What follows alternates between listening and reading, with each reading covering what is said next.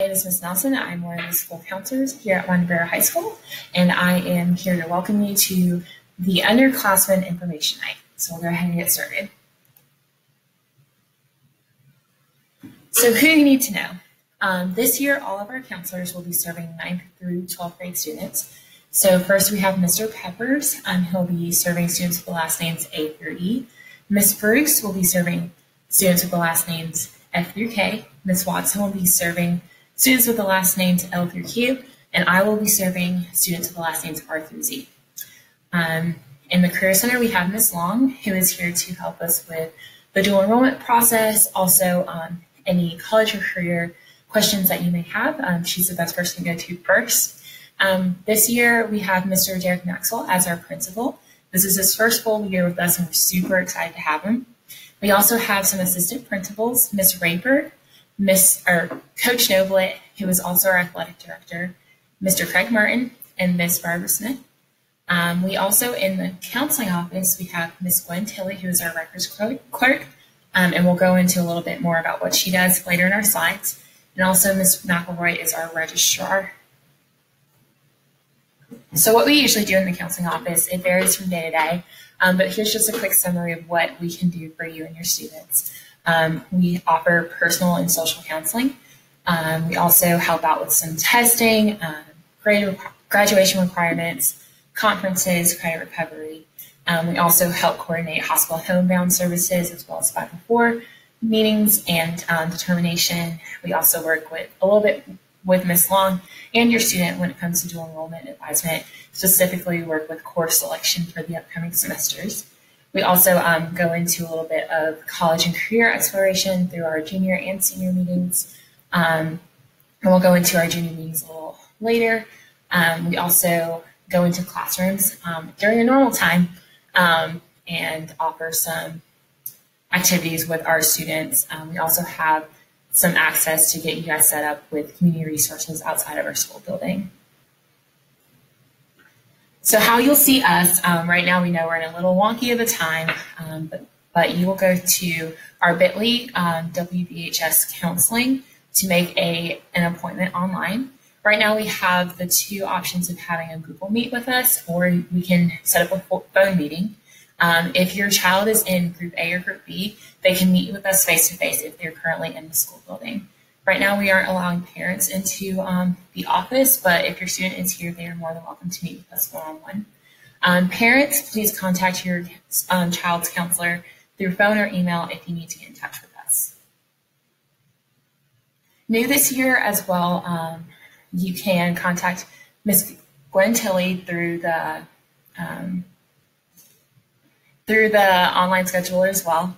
Um, and it's going to be a request through an appointment. So Ms. Tilley can help you out with transcripts, enrollment letters, your social security paperwork, auto insurance, and also withdrawals. So you can email her um, at this email below, or you can also go through our online schedule. Some upcoming events, we have the Probe Fair. Um, registration for that opens on September 15th.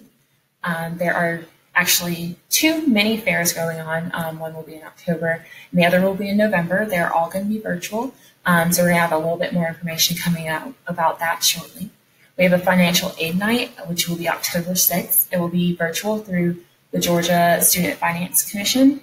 Um, we have no school on October 12th, so look out for that, students. On October 14th, we'll have the PSAT. You can still register through your My School Bucks account um, under the school store. Report cards will also be coming out October 14th. Um, AP exam registration, um, the deadline is coming up for um, fall only and four year long. Um, students, they can register, they need to register by um, November 13th. Um, registration should be done through total registration. And as you all know, we'll have Thanksgiving, a Thanksgiving break holiday on the dates of November 23rd to the 27th. For our junior class, um, we will be having junior meetings during the spring of 2021. Hopefully those will all be face-to-face. Um, students will also schedule those appointments through our online scheduler. In these meetings, we typically cover graduation requirements and post-secondary plans, any career information that we can go over with our students. Meetings are going to be tailored towards your individual students' um, goals and their needs. Um, so parents are always invited to come, but they aren't required. Um, so juniors, go ahead and start thinking of what you want to go over in the meetings with us, so we can make sure that that plan, that meeting is as efficient as possible for you. So we have our graduation requirements. We have a minimum of 24 credits in order to graduate. So you need four credits in each of your core classes of language arts, math, science, and the social studies. Um, we would love for you guys to each complete a pathway, which is um, three classes of one field. So for instance, um, healthcare has intro to healthcare, essentials of healthcare, and allied health. That is one pathway. Um, we also have pathways like chorus or art or um, a world language like Spanish or French. Um, and also, students will typically gather four electives by the time they graduate. Usually, they end up with more, but four is our minimum. Just as a reminder, two world language credits are required if you um, are intending to go to a four year college in the state of Georgia. We typically recommend that students begin their world language classes in 10th or 11th grade. Um, in addition to those graduation requirements, we have promotion requirements. Um, as you transition from 9th to 10th grade, in order to be considered a 10th grader within our system, um, our students need to have at least six credits under their belt. Um, in order to be promoted to 11th grade, our students must have 13 credits, and this is where it gets a little bit more specific. In those 13 credits, you must have two English credits. So by this time, if we're in the correct order, it's going to be 9th and 10th grade lit, um, in addition to one math credit, one science credit, and one social studies credit.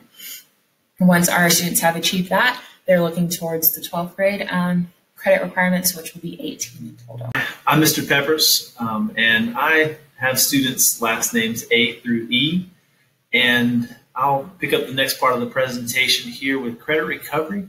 So some students may not be able to complete all their graduation requirements at the time that they took the, um, the courses. So if they failed something in ninth grade, uh, by the time they become a junior, they may need to re uh, or go get that credit and uh, look at some of the credit recovery options. Here in our county, um, Foothills Charter High School um, is available for students to attend, and that is for $150 per credit or $75 per half unit if a student may need that. Um, you would see your counselor for a recommendation form, and then at that point, make an appointment with Foothills to begin uh, working on those courses.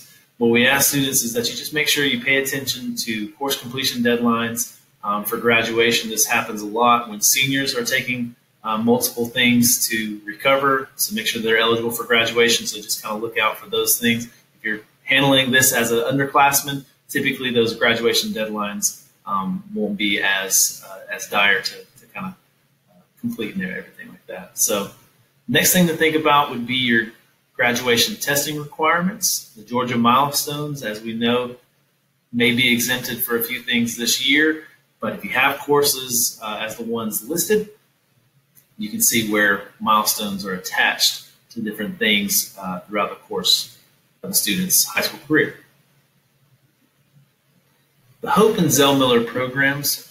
Hope Scholarship is a four-year college program, and students must have a 3.0 Hope GPA, which the calculations include academics, and this is your language arts, math, science, social studies, foreign language, and then also some of the uh, academic electives like psychology or mythology. Those would go into those calculations. This pays approximately 85% of tuition at public institutions. This does not include anything that would go towards your room and board, um, any other fees, books, and things like that. This is strictly for tuition.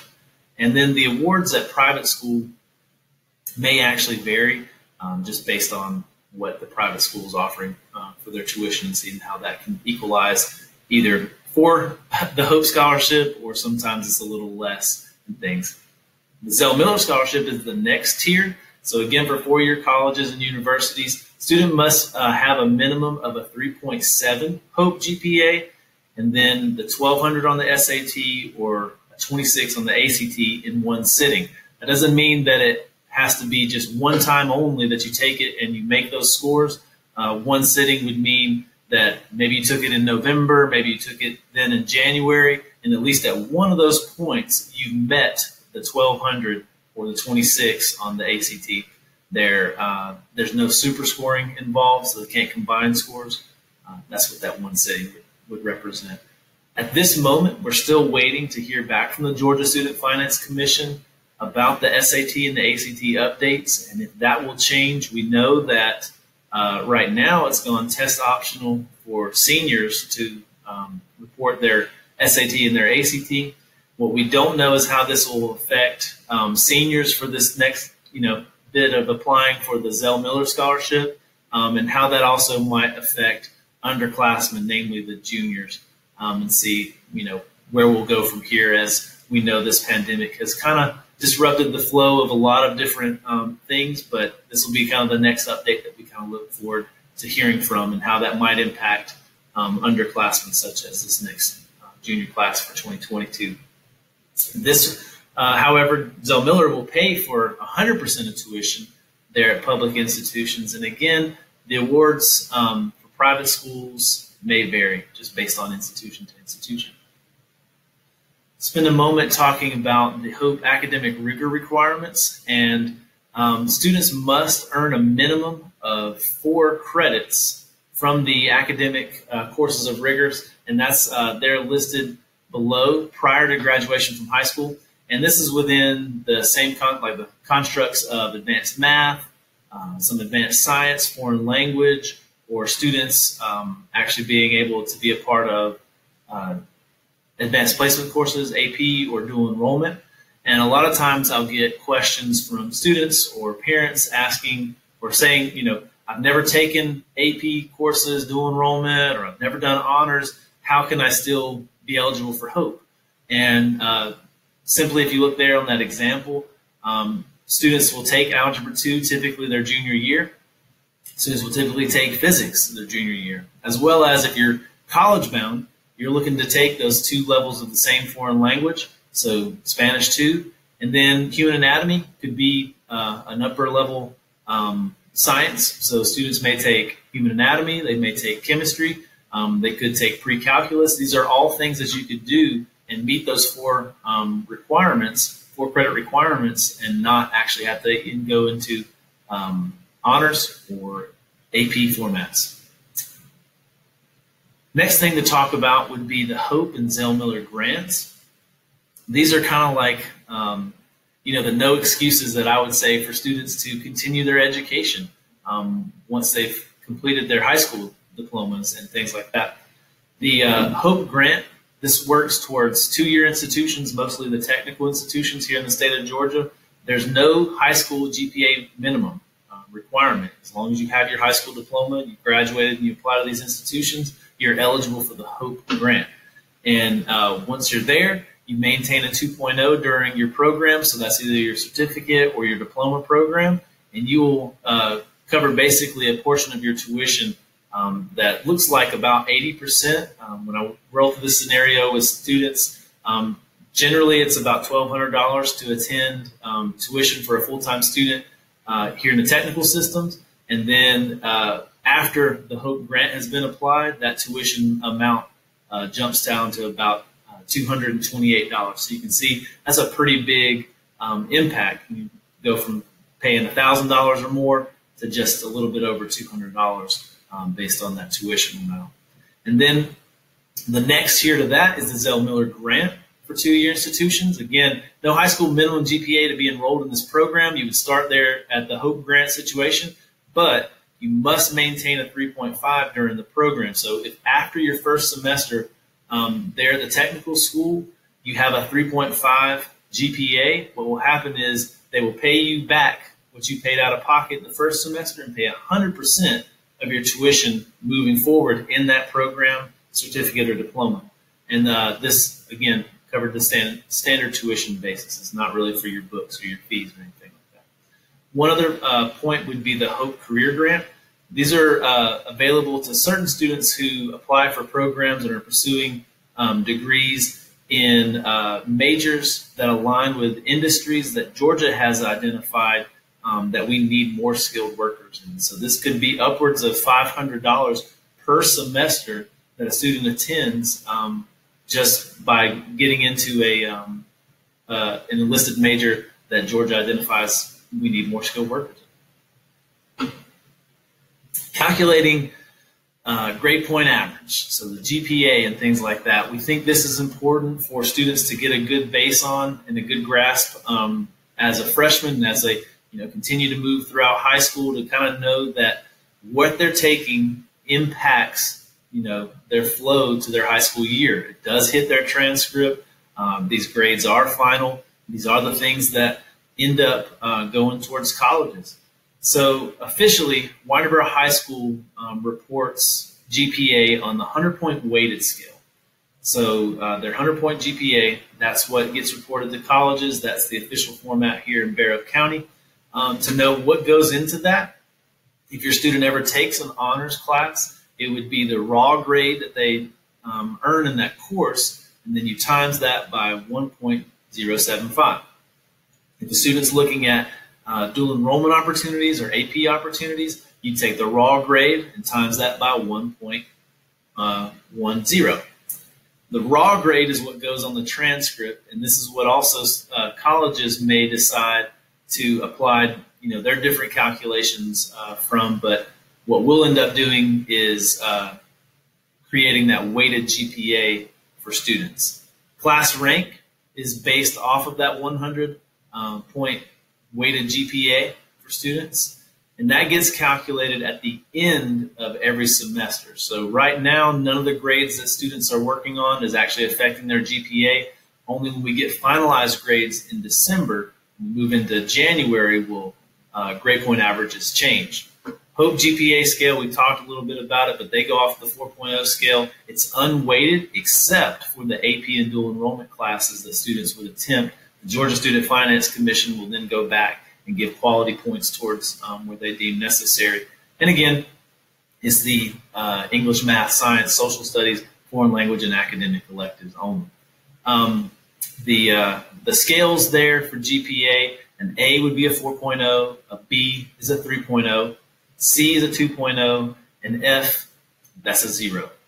And uh, just again to kind of highlight the fact that GPA is cumulative, goes throughout all of high school for whatever credit is received. Um, just to kind of put those points out there when you're thinking about how GPA is important and really kind of drives a lot of the conversation towards how successful a student is being here in high school. One of the points, not all of everything. Dual enrollment is a program I've mentioned a couple of times when you see that DE typically um, stands for dual enrollment. Uh, here at Winder Barrow, uh, Ms. Liz Long in our Career Resource Center. Um, she is our Winder Barrow coordinator for dual enrollment. This is where students can earn college credit while working on their high school diploma. The uh, dual enrollment funds for the state of Georgia cover the tuition, the fees, and the required textbooks. Um, all students uh, are eligible, but you must meet the institutional standards uh, individually uh, for admission. So there may be an age requirement. There definitely are uh, different GPA and uh, SAT and ACT requirements based on universities and technical systems. So you just want to make sure you're looking up that correct information for what your students are interested in uh, to, to pursue dual enrollment. If you got any questions, you can definitely ask your counselor. Uh, start with Ms. Long there. The process for dual enrollment would be contacting Ms. Long to express the interest, then filling out the dual enrollment application, um, take required entrance exams. Again, we've mentioned the SAT and the ACT, but this could also just mean taking the Accuplacer um, and then apply to the institution. You can get Miss Long to help you with any assistance that you need there. Um, once you're accepted, you would meet with your counselor for advisement just to talk about the classes and the choice that you're you're wanting to make for the, the upcoming semester, and also how that is fitting into your graduation plan. Um, you contact the college with specifics about admissions and course detail questions um, to get on their systems like uh, Blackboard is what Lanier Tech uses. So you want to definitely get into an orientation there at the college. And then uh, one of the things that we would require is that a student bring or submit their course schedule so then we can actually put that on their Winder Barrow High School course schedule. just as we kind of wrap up the conversation with dual enrollment, is that we would just ask students and families to carefully consider the fit for the student as the as well as the preparedness um, for those college level uh, courses and the work that's involved, as well as the expectations. Um, when students roll into that dual enrollment class setting, I mean, you are no different than anybody in that class. If it's uh, somebody that's going back to college who may be in their 30s, um, a college student who's you know in their 20s, or again another dual enrollment student that they're with, there's no separation, there's no differentiation. It's just you are a college student in the class, and your expectations are to be met with everyone else there. Um, the students should definitely consider where schools um, that you're going to apply to after high school and what they may prefer as a, uh, apart from AP curriculum or dual enrollment. So that could factor into some of the decision making that sometimes that we have conversations here in the counseling office about. And then other factors to consider would be transportation. You know, making sure that it's easily um, uh, accessible with your schedule, either you know, in an AM or PM setting, or uh, the other things would just be the fit to Winder Barrow's schedule, your extracurriculars, your job, uh, not really wanting to impede on any other things that you have going, but uh, trying to just incorporate that into your day um, as best as possible. Just trying to keep all those different scenarios and factors in mind when you're kind of enrolling in dual enrollment. And being as flexible as possible because sometimes the classes are structured and you just have to make adjustments towards it. Um, but it's definitely a great program uh, for students to take advantage of if, again, you, you feel prepared enough for it and it fits um, for your schedule. Hi, everyone. Um, I'm Ms. Watson. I'm the current counselor for students with the last names L through Q. To the sophomores and juniors out there, you probably remember me as your ninth grade counselor when you were in ninth grade, but I now serve students last names L through Q. And so I'm here to talk about some keys to success on how to be successful um, at Winder Barrow High School. So for students, developing time management and study strategies is key. So being able to balance not only school, which is a huge priority, but also extracurriculars, work, volunteering, things like that is key in order to um, be successful at school. And so having study strategies as well can help. Staying organized and taking good notes, um, making sure you don't have all your papers in a frizzy or anything like that um, but having everything organized like in a binder, folders, things like that. Showing up and having no zeros is super important because a zero in a grade um, in any of your classes can really bring down a grade. Um, so it's better to have a 50 over a zero because a zero can, when they're factored in, um, can be, bring your grade down a lot. Communicating early and often so whenever you have questions, make sure you reach out to your teachers, whether it's email or in person, Google Meet, things like that. And of course, setting a goal and making plans on how to achieve them. So if your goal is to get two A's and two B's this semester, recognize the, the steps you have to take. So that might be making sure you attend tutoring sessions, making sure that you're studying 30 minutes a day for each class, things like that. For families, um, so super important to check parent portal, check grades. Students should do this as well, but families can keep on top of grades. And if you have any questions, ask your teacher what you're seeing. And again, communicating with teachers and counselors. We are here to help support students, and teachers are here to support students too. Staying connected through websites and social media, super helpful. We post on social media often, whether it's Instagram, Twitter, or Facebook. Our website also has super important information as well. And then helping your student think about a plan for their future. I know that oftentimes parents or guardians or families have certain expectations for students, but ultimately what a student you know is interested in, but it's a student's effort that's going to bring them to graduation, to that 50 yard line.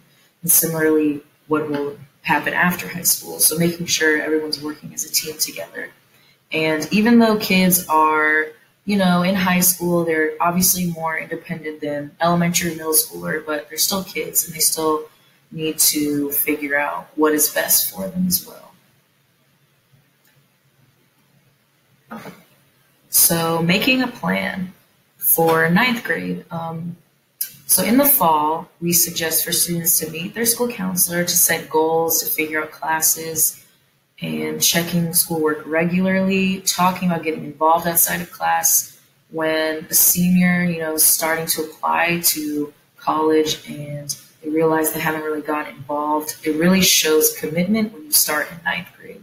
Also, you can take the PSAT 8 9, which is a test that helps see how students will do on the PSAT, which is a good practice for the SAT, which is has been an integral part in applying for college. And in the spring of ninth grade, you can discuss next year's classes during registration, start doing a preliminary research on colleges and technical schools to see what um, the student's interested in, see how much you need to save for college. It's better to start thinking about saving your college now in the ninth grade, and then you can work your way into um, different um, ways to support yourself in college.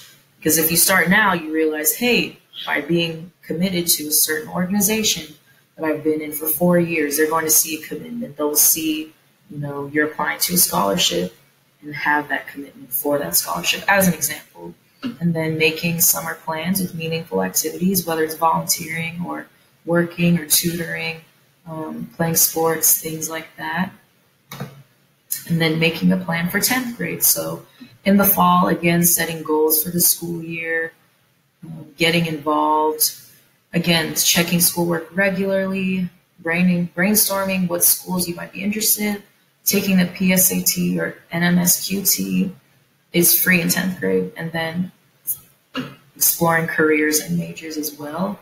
So you don't have to know what you want to do in 10th grade necessarily, but starting to build um, that interest and seeing maybe I could be interested in studying this in college, or maybe I want to work to this diploma or this certificate, things like that in the spring of 10th grade, making a, a college visit, maybe the first one. So you can start um, exploring what you might, where you might want to go. Begin building a college list. Again, collecting information about the cost of college, whether it's tuition and housing and fees, and discussing next year's classes. So a lot of times students in 11th grade start taking more and more advanced classes. And so embracing those challenges that come with taking more advanced classes. And again, planning a meaningful summer activity. So making a plan for 11th grade. So in the fall, definitely meet with your school counselor. Um, again, setting goals for the school year, maybe shadowing professionals and careers that you might be interested in, preparing for the ACT or SAT, taking the PSAT and continue to work on being involved in after school activities. In the spring, you'll have your official junior meeting. And so in junior meetings, we talk about not only classes you still need to graduate, um, GPA, rank, things like that, but also talk about your plans for after high school, whether you're interested in doing a two year diploma or two year degree, four year degree, military, workforce, um, things like that and then refining your college list. So the list that you've been building on slowly but surely throughout ninth and 10th grade, now you can solidify more what schools you're interested in applying to. And then taking the SAT and or ACT. So right now, of course, things are up in the air because of COVID, but we could see that even if ACT and SAT aren't necessarily required for the current 12th graders, it might be a requirement for 11th graders that will become 12th graders next year.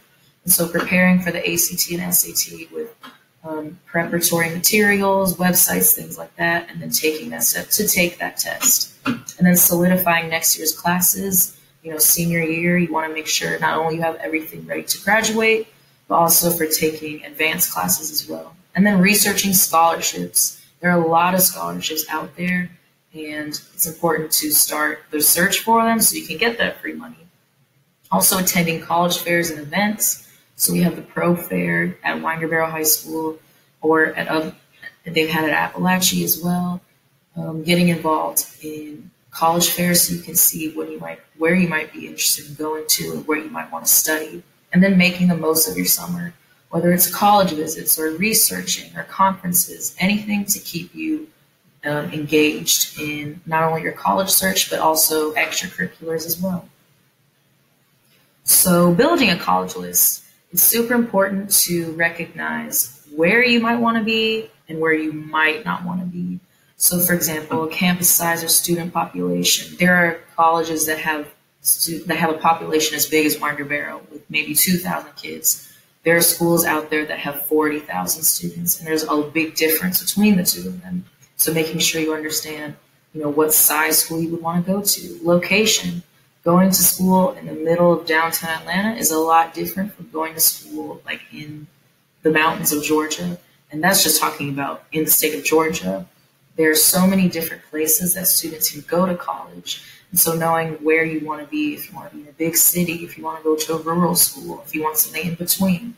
And again, talking about cost, whether it's tuition, um, because college is expensive and it depends on if you have a private school or a public school. So recognizing those differences in costs. But not only that, talking about financial aid. So how much you can afford and how much you could possibly get from the free application for federal student aid, FAFSA scholarships, like I touched upon earlier, um, knowing what money you could get from different scholarships or grants you apply to, and then also understanding what schools offer what programs and majors. So not every school is going to have an engineering program, for example, and so making sure you recognize what schools have, the program you're interested in, and how strong that program is there.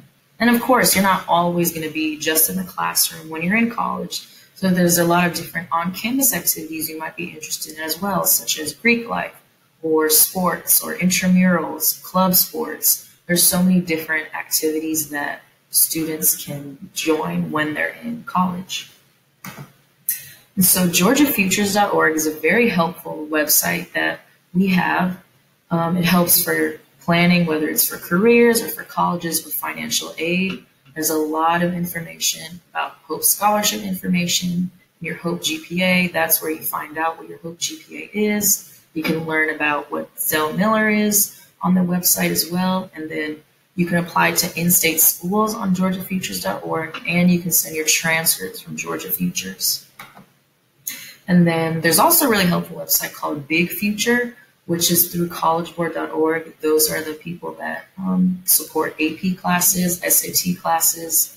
And so on this website, I really like it because it's uniform. So you can find colleges and you can see exactly, oh, this is the GPA that this school is looking for. This is the SAT that this school is looking for. All the information is in one place. And not only that, you can explore different careers or the majors that um, relate to those careers, how to pay for college, making a plan, and there's also special resources for parents on this website as well. Hi, everybody. My name is Angela Bruce, and I am one of the counselors here at Winder Barrow High School. Wanted to talk to you about some testing opportunities that are available to you that will be coming up in 9th, 10th, 11th grade. So one of the ones that is available to students is the PSAT, um, and MSQT stands for National Merit Scholarship Qualifying Test. And so we will be offering the test here at Winder Barrow on October 14th. Um, it's available to 9th, 10th, and 11th grade students. It is free for all 10th grade students. Um, 9th grade students have to pay for it. It's $15 for the PSAT um, 8 9. And then juniors have to pay for it. Um, it's $20. Waivers are available for juniors.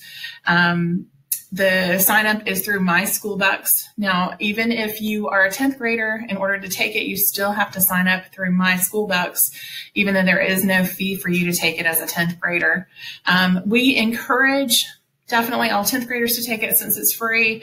We encourage juniors to take it because it is the National Merit Scholar Fine, National Merit Scholarship um, qualifying test, which means you have to take it during your junior year in order to, to enter the National Merit Scholarship.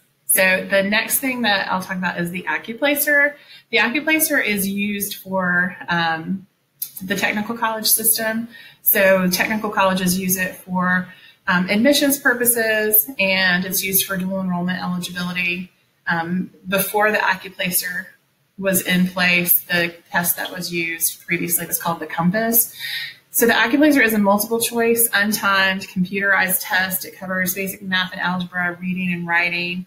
Um, basically, what you do is you register a ticket at the institution that you plan to attend. So um, typically, what you do is you apply for admission, and then it's scheduled or information will be sent to you about the AccuPlacer and, and, what you'll need to do to sign up for it. Now, we do offer the AccuPlacer testing at Winder Barrow High School for students who are interested in dual enrollment. So if we have that available, in Ms. Long will send information about that.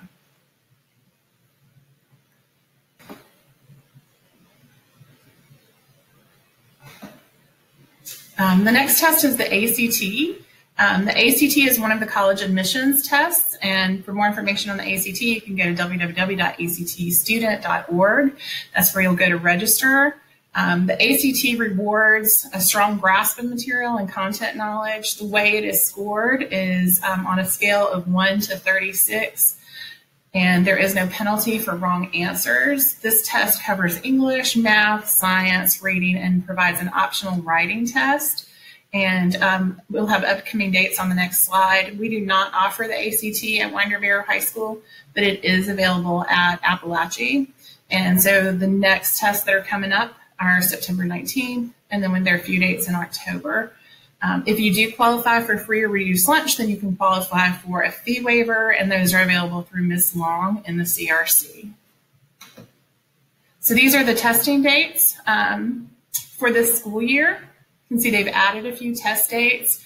The school year, typically this would apply for juniors. Um, most students in 10th grade don't take the, SA, the ACT or the SAT unless they are planning on applying for dual enrollment at particular colleges. But uh, so this is information to kind of think ahead if you're a ninth and a 10th grader, but for definitely for juniors. The SAT is the other college um, the other college admissions test that's used. It's available at www.collegeboard.org. This test rewards logic, creative thinking, and problem solving. The score range for this test is 400 to 1600. Um, and there is no penalty for wrong answers, just like on the ACT. Covers math, reading, an optional essay. There is a vocabulary focus, um, words that students typically would use in college. And then we do offer this at Winder Barrow High School. Um, we'll have test dates on the next slide, but the next ones that are coming up soon are September 26th and October 3rd. Please note that the late registration deadline for the SAT is September 15th. And again, waivers are available for students who qualify for free or reduced lunch. These are the test dates for the SAT. Um, again, there's an optional essay. Um, and then the dates in bold are the ones that we'll be offering at Winder Barrow High School. Khan Academy is a resource that's available through um, a partnership with a college board. Khan Academy is amazing. It offers free online tutoring. If you take the PSAT, then it'll give you a personalized study plan. You can actually also take practice SAT tests at Khan Academy. Um, and then based on your results, it will also give you a personalized study plan, but it's available 24 7. Um, it is a free program, and students and guardians can both make accounts. So, so, most important is that you are here, that you are present, whether you are a digital learner or a face to face learner, that you are logging in or that you're attending every day and participating in your classes. Um, turn in your work. This is so critical for you. Always turn in your work. Zeros are the things that bring your grade down the fastest um, and the hardest thing to bring back up. So please make sure that you're always turning in your work.